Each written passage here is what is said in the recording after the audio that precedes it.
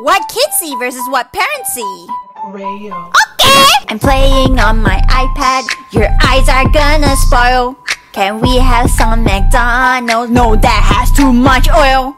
Wait, mom, I'm playing a game. Just pause it seriously. Can I please buy some Robux? Money doesn't grow on trees.